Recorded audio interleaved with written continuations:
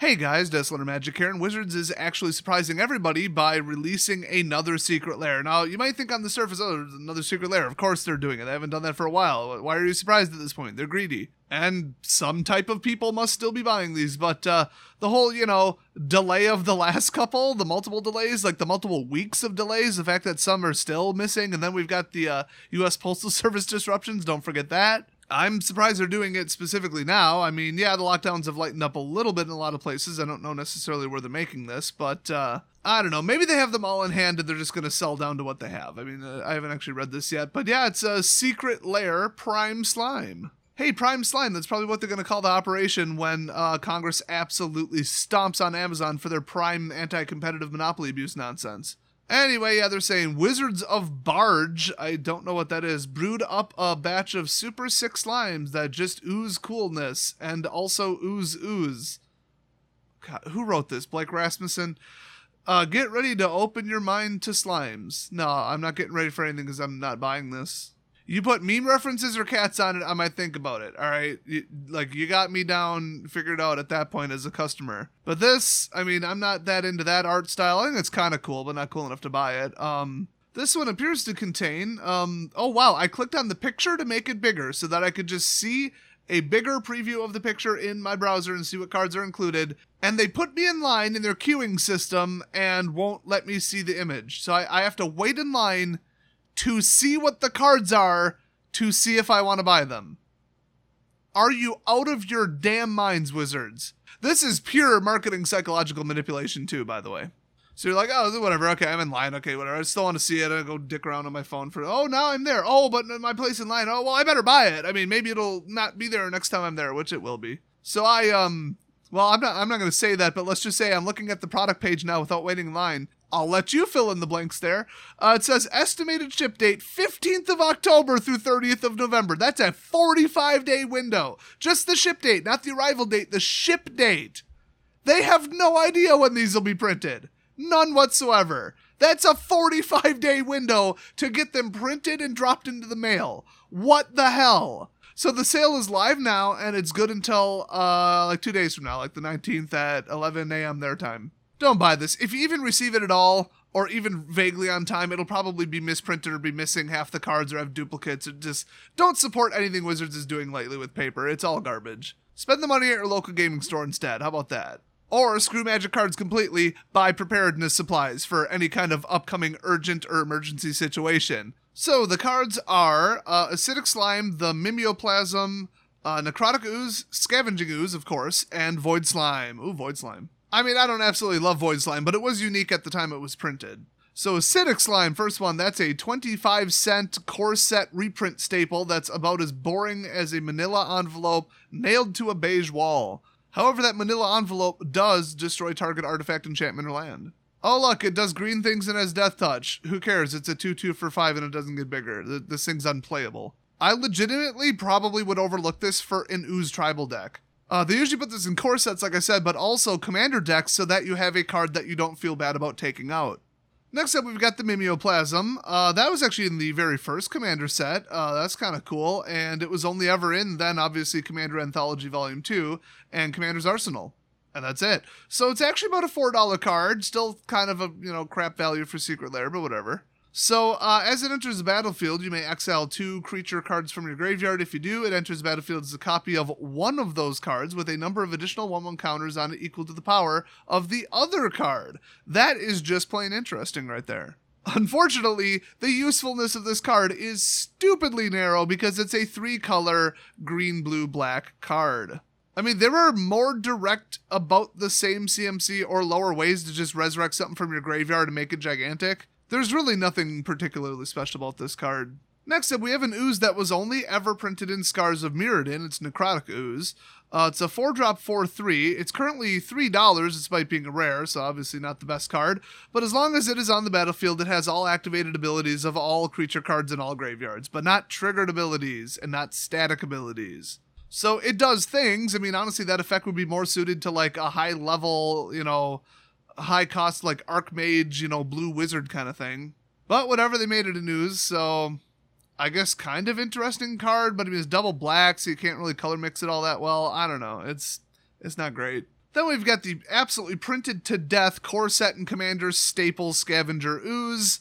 Um, every time they print it, it's worth a little bit, but uh, now that it's literally in core set 2021, just a little reminder there for you, uh, it's a dollar fifty. So, yikes. There's a Core Set 2021 borderless variant version. What the hell is that? Do I just not remember them having those? And uh, even that one with full alternate art is $2.29 currently on Card Kingdom, probably lower on eBay. So another just terrible choice, but uh, it's a two two for two. You pay one, and then uh, you don't even have to tap it or nothing. It's just pay one, uh, one green. Exile target card from a graveyard. If it was a creature card, put a one one counter on uh, Scavenging Ooze, and you gain one life. It is an amazingly good card. With unfortunately an amazingly bad value because it's so good they kept printing it until it's worthless. But uh, you know that's fine. I like card affordability. You know better than really anything else.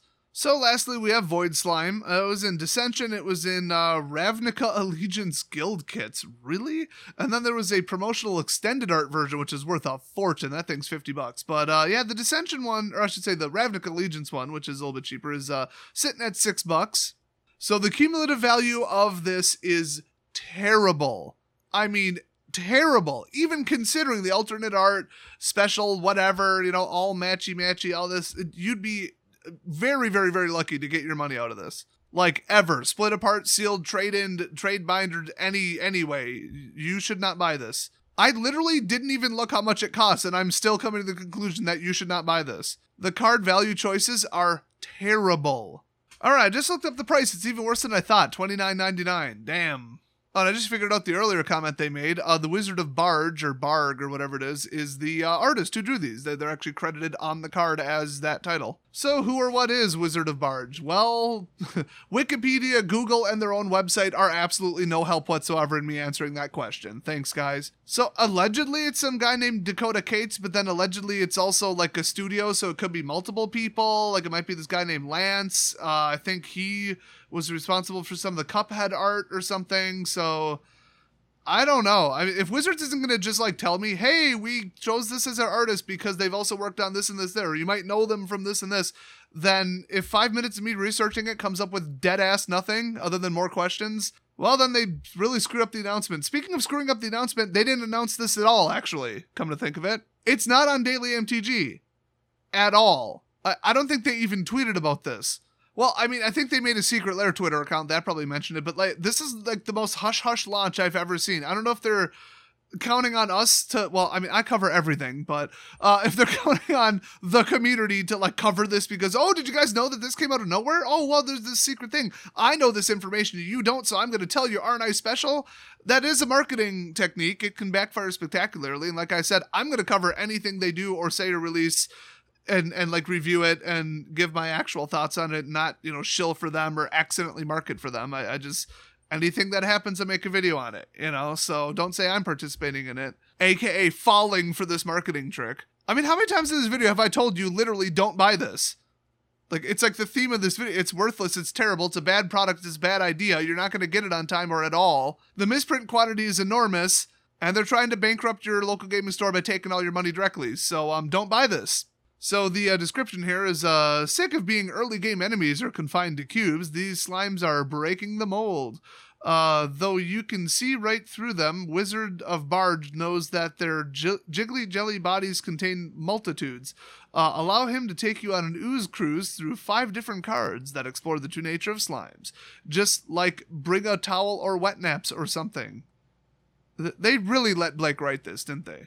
So, I mean, just purely from a number standpoint, I think this is the least valuable, worst one they've made. I really do kind of think the art style is like really cool, but like I said earlier, I can't help but feel like they totally ripped off Adventure Time. I might have edited that part out, so maybe I didn't say it before, but I'm saying it now. I mean, it's not like this style of drawing doesn't predate the show, but you know, just saying.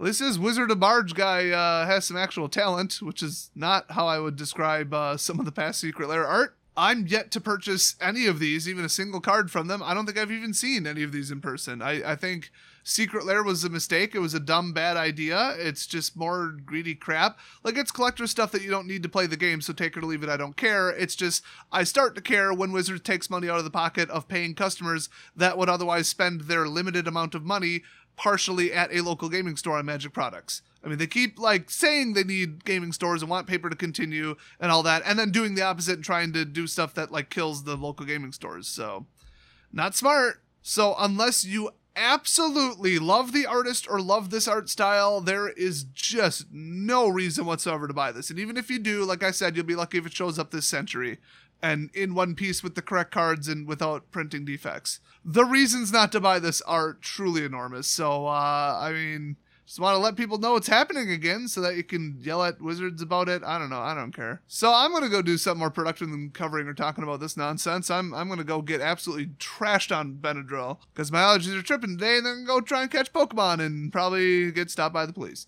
Some Karen be like, there's a clearly inebriated man out there with two cell phones in his hand for some reason, dressed like he's homeless in like a 10 year old torn up fucking It's Laundry Day level shirt. I think he's talking to himself about Pokemon. Somebody called 911. So if you want to help me post bail, uh, there's a Patreon link in the description, and uh, that is how you get onto my ultra awesome dank Discord server of Memitude, which contains at least four other pictures of unzipping's adorable cats. I mean, that's worth a dollar right there. I'll see you guys next video.